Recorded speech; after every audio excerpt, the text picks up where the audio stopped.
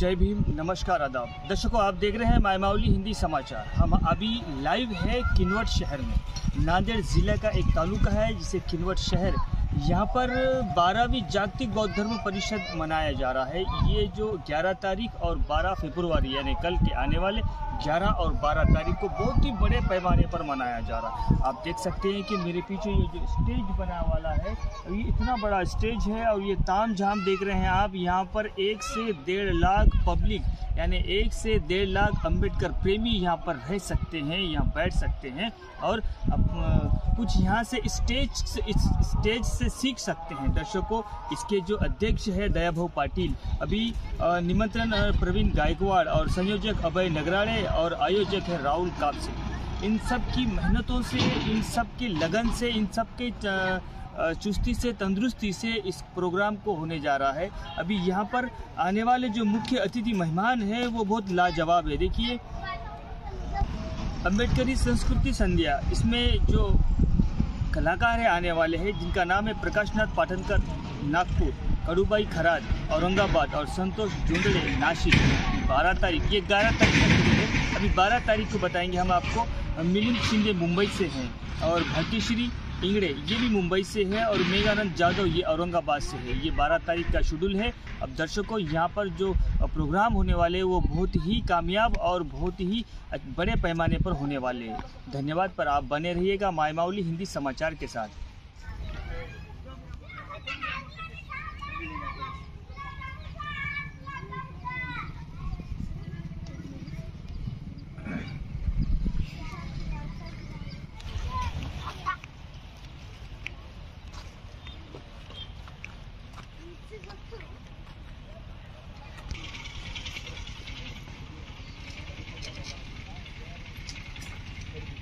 परिषद रखने का मकसद क्या है?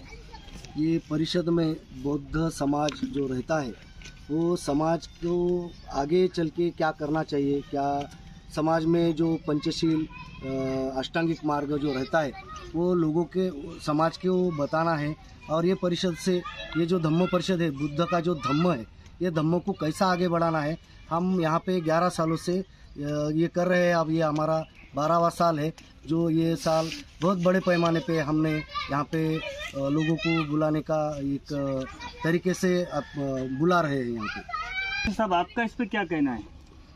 जय भीम साथियों हम लगभग तीन महीनों से दिन रात होके इस कार्यक्रम की तैयारी में जुड़े हुए हैं। हमारे सभी साथी ने इसके वास्ते काफ़ी ज़्यादा मेहनत की है और मेरा सभी भाइयों से आह्वान है कि इस कार्यक्रम में आके आप सभी जनों अपने समाज हित के बारे में जो जानकारी है, आपकी भी आप हमें बताएँ और इस प्रोग्राम से कुछ ना कुछ जानकारी लिख जाइए। और मैं सबको आपको माय मौली न्यूज़ की तरफ़ से आह्वान करता हूँ कि ज़्यादा से ज़्यादा इस प्रोग्राम में आ जाए और इस प्रोग्राम के, में शामिल हुए। जय भीम। सभी को जय भीम।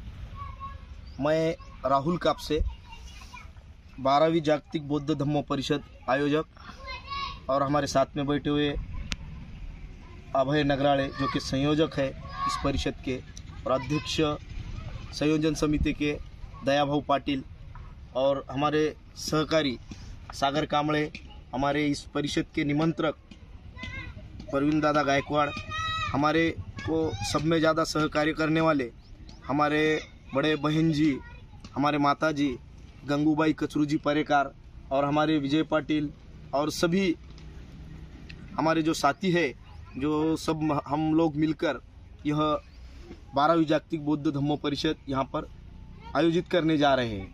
पिछले 11 बरस हमने परिषद बहुत बड़े पैमाने पर यह आयोजित की थी और बहुत अच्छे से जो 11 बौद्ध धम्मो परिषद सक्सेस हुई और इस साल 11 और 12 फरवरी को ये बौद्ध धम्मो परिषद आयोजित की गई है।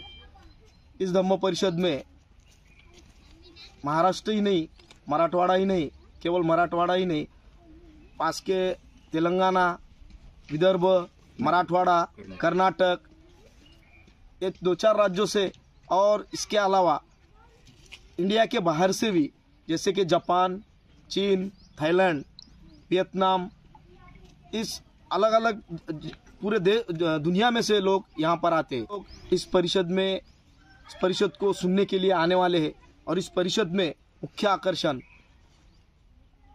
जो कि दिल्ली के सामाजिक न्याय, माजी सामाजिक न्याय मंत्री है, फ़िलहाल ही उन्होंने अपना राजीनामा सरकार को सौंपा है। राजेंद्र पाल गौतम जी, वो यहाँ पर मार्गदर्शन के, मार्गदर्शन करने के लिए आने वाले हैं बारह तारीख को। और हमारे महाराष्ट्र के जो अम्बेडकरी नेता है, जो कि अभी पूर्व मंत्री रह चुके हैं, माननीय डॉक्टर जितेंद्र जी आव्हाड साहब, उन्होंने खुद ट्वीट करके बताया है, कल ही ट्वीट किया है कि हम बौद्ध धम्म परिषद किनवट को आने वाले और इसी तरह और बड़े वक्तागण, कवि, साहित्यिक और मार्गदर्शक यहाँ पर सब मार्गदर्शन करने के लिए आने वाले और के जो यंग नेता है, भाई चंद्रशेखर आज़ाद रावण कल 11 तारीख को 6 बजे इस परिषद में आने वाले मैं आप सभी दर्शकों को सभी बौद्ध बांधवों को, सभी अंबेडकर प्रेमी जनता को माय माउली चैनल के ज़रिए आपको आह्वान करता हूँ कि लाखों की संख्या में इस प्रोग्राम में आप आइए, इस परिषद में आप आकर इस बौद्ध धम्मो परिषद को हम सबको मिलकर सफल करना है। अभी फिल वक्त लोकशाही अपनी धोखे में है। आनी बानी सदृश, आनी बानी समान वातावरण इस देश में होने के कारण हमको फिर से लोकशाही, हमारी ज़िंदा रखना है। लोकशाही हमको ज़िंदा रखने के लिए लड़ना है। इसलिए यह बौद्ध धम्म परिषद आयोजित की गई है। पैमाने पर ताकत दे सकते हैं। हम लोकशाही बचाने के लिए क्या कर सकते इस पर मंथन होगा, इस पर विचार होगा और मार्गदर्शन होगा। माय माउली चैनल के द्वारा आप सभी समाज बांधव, बौद्ध बांधव और सभी अंबेडकर प्रेमी जनता को मैं सूचित करता हूँ, आह्वान करता हूँ प्लीज़ आप इस बौद्ध धम्म परिषद में आइए और बौद्ध धम्म परिषद को सफल बनाइए। जय भीम।